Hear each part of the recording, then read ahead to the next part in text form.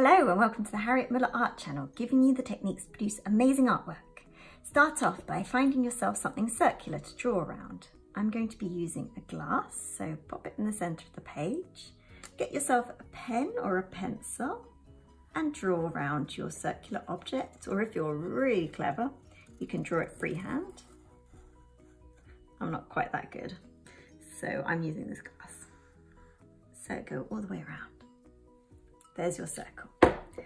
Next, we're going to be drawing a spiral. So just start anywhere in the circle and just do a spiral motion all the way to the middle, just like that.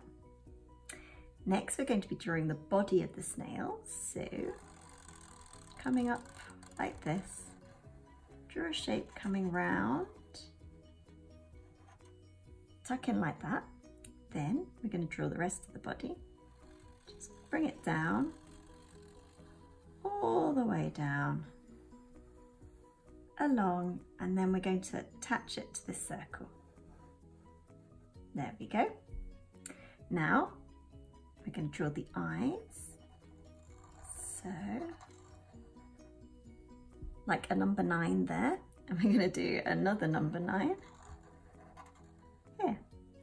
Inside these, draw an oval and a little circle, oval and a little circle, and then colour them in. Remember, if you need to pause the video any moment, please do. Just like that. And there's your finished snail. If you've enjoyed it, check out the other cartoon animals you can draw in the series and I hope to see you again. Thank you very much. Bye bye.